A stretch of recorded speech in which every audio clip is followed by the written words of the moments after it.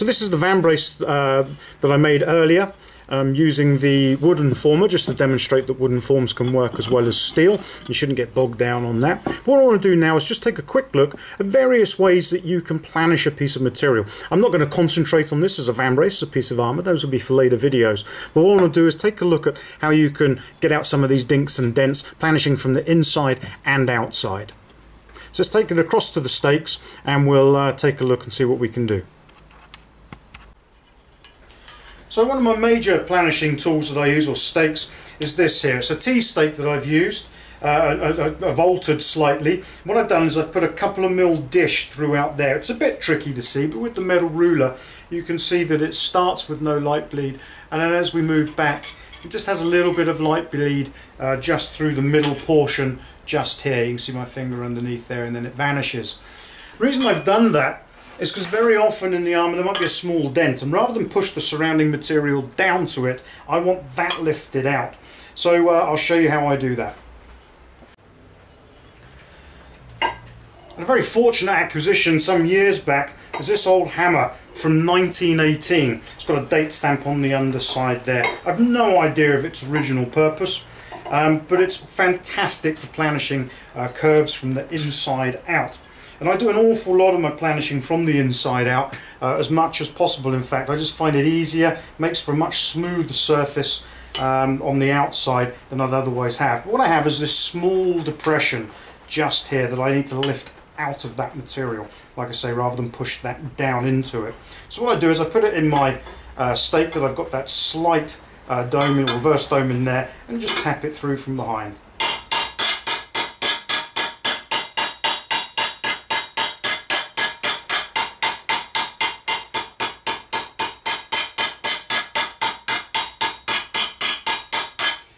Tends to happen on the inside is you can tell when you're working in the correct area is because you get little bits of hammer scale tending to flake off as that material has been deformed down and into it and you know you're in the right space. Another secret, or not secret, another technique I use is to put my finger on the space. We'll try and find another one now I've pushed that out. There we go. So I'll put my finger on the space, offer that up to the anvil, and then just take my finger away. And I can see here already there's a slight raise on there, just from the way the light's coming off of it. So I'll just work that back too.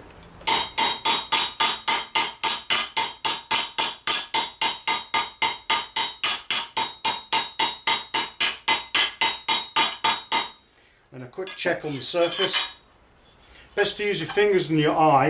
Your fingers will generally always pick up what's going on so I can tell there's some more rough area over here. Uh, there's a slight divot just there. So again just offer that up. You can see it on this side and then work it back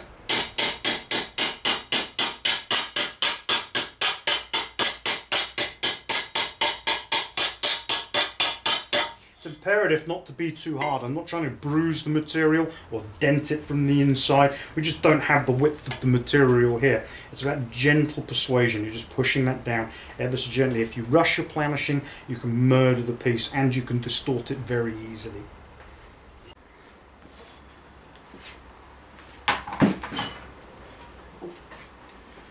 The next most used piece of equipment that I have in the workshop for planishing is just my flat anvil. So we've not got onto stake shed or anything and I've shown this in a couple of videos in the past. I've got a great length to try and keep this as smooth as possible. As soon as you put a smash into there, there's a couple up here, and you can't use that area for planishing because you'll just drive those divots straight into your material. So we've pushed out a couple of the uh, valleys that were done before just in this area here obviously I'm rushing a bit here just to show you what's going on. But what we'll do is we'll now smooth those all into one nice space just by using the flat of the anvil. And you just work your way along in even passes.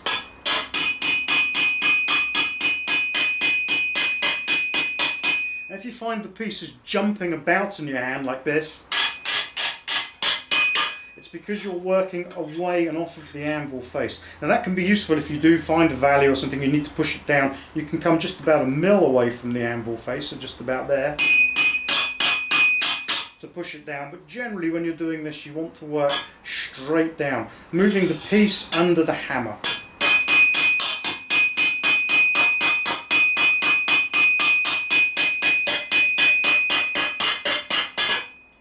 See there, it's just starting to get away from me. This hammer's a bit big for when I get down to here.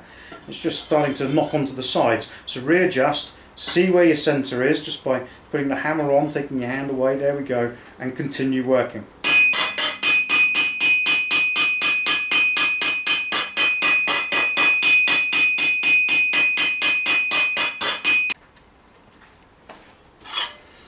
So you see how we started to really smooth this material down. A higher carbon steel would start to work harden, so you have to be aware of that and know what to do, which we'll cover in later videos. But for now, that's really starting to come on nice and smooth. If I was to uh, grind that back, it would come up with a fairly standard sheen at the moment. We're rushing for the video, so I'd like to take a bit more care over a couple of pieces. But we get a good smooth finish there. Or if you're going to leave it rough from the hammer, it's vital that that is as smooth from the hammer as you can manage to make it. But now we'll take a quick look at the stakes just across the room there, and we'll see uh, how you can planish from the front down. So just before I begin planishing across on the stakes, just a quick word about planishing hammers. You need to keep the surfaces smooth. Uh, they don't need to be like mirrors. You can indeed do that if you want to. They just need to be divot free uh, and dent free. There's a tiny little piece on there. You can just pick up the fleck on the camera. Uh, from time to time, which will need removing, but as I work mostly in the centre there, uh, we're okay. Now this is a specialist planishing hammer, has a flat surface on there, there's a slightly more curved one there, which I use for getting into the uh, backs of greaves and uh, the uh, bend on the forearm on the vambrace. But you don't need to have specialist hammers like these uh, when you get going.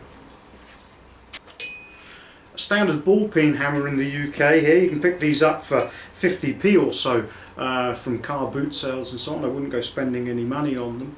Uh, this can be used. The only thing I tend to find with ball peens and other hammers like this is because they're that little bit heavier and a little bit smaller. If you're not paying attention, you can actually be putting in more dents on the surface or depressions on the surface than perhaps you want to. So you do have to go steady with them. Another thing that's vital is just take a grinder or some file paper if you have to and just lift the sharp edge off of this. I'll do a piece on how to modify hammers later on um, but you just want them ever so slightly curved, you don't want them perfectly flat, and you certainly want to get rid of the straight edge uh, in the face there. And lastly, I have this small hammer, one I tend to use an awful lot for planishing. When you're trying to get into small spaces, you can get straight in. But again, because it's a small hammer, be careful you're not hitting too hard and denting the surface and actually causing more trouble than good. And again, round those corners off, so if you miss blow, you're not smashing in a crescent-shaped hole in your um, armour straight away. But you don't need these specialist hammers. Any hammer you can find will work. You just need to be careful with the tools that you have. Going to take a quick look at how to work through here and work on the outside of the stake, on the outside of the material. You have to be very careful here not to hit too hard and to use the wrong stake. This one's quite flat. It needs to be riding on there, not being supported by the two outside edges, otherwise you will flatten this piece of material down.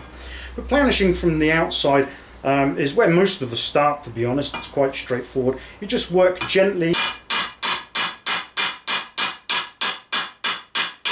in a series of strikes that smooth the surface down. I find working on the um, outside like this can be easier when you've got ever such a slight slope in there. And I was showing you this hammer earlier. I tend to use the rounder of the two faces and just come off of it gently and slowly work your way around.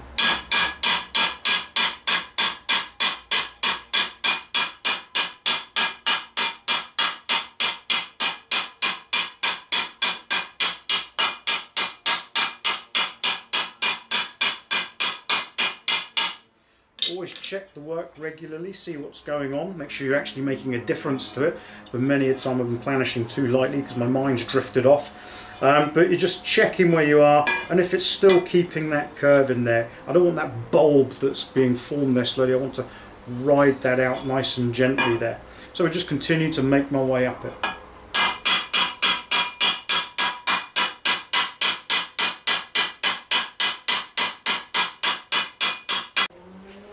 Now, a quick word about the way I'm holding the hammer. You're not throttling this, Uh, it's not going to fly out of your hand. You will exhaust yourself in no time. If you find your forearm starts to get tired quite quickly, this is where all the muscles are that control the tendons and so on in the fingers. If that's happening to you, you are throttling this too hard. Relax and just let the hammer work loosely in the hand. Try not to place your thumb on the top, that places an extra strain, uh, particularly up here because you're trying to keep your thumb out of the way. Just grip it and let it work for you. The hammer is the piece that does the work and you can planish all day. If you've got your uh, back to the wall and you've got a bit of a, a, tight deadline on, you can find you starting to get panicky and you're planishing too fast. It becomes counterproductive. You just exhaust yourself, just relax into it. And as I was told very early days when I was armoring, just learn the zen of planishing. Just get into a place where you're just knocking that away and make sure above all you have your um, uh, ear, ear, defenders on, otherwise uh, this is a surefire way to injure your hearing. And just let the hammer work for you.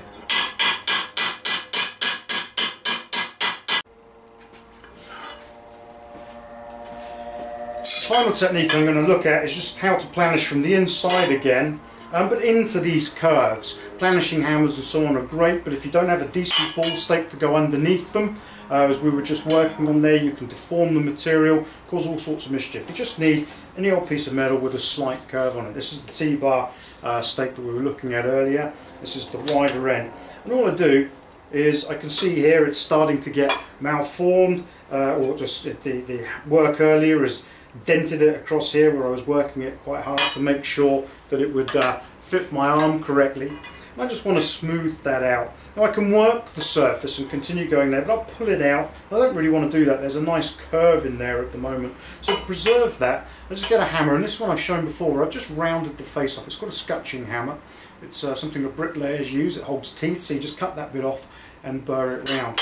And all you do is you put that where it needs to go over the uh, T-bar there and find the space that you want to work. We'll work over it there's a nice dent there. So what you do is you just offer that onto it and get inside. The scutching hammer has a little curve to it which is lovely for getting inside these spaces and just work your way along.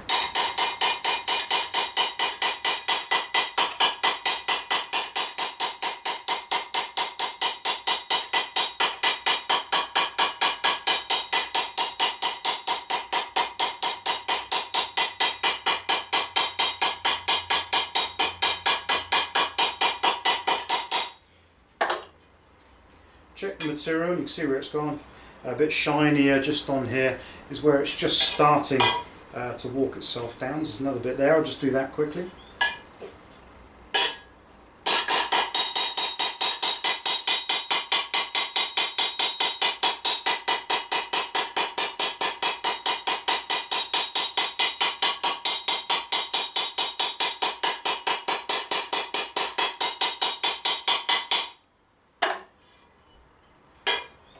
There we go, and that's working out just fine across there now, starting to go. It takes a little bit of time with the hammer because they're small blows inside, but it smooths them off lovely and it lets you keep a really good control of any complicated shapes you might be doing.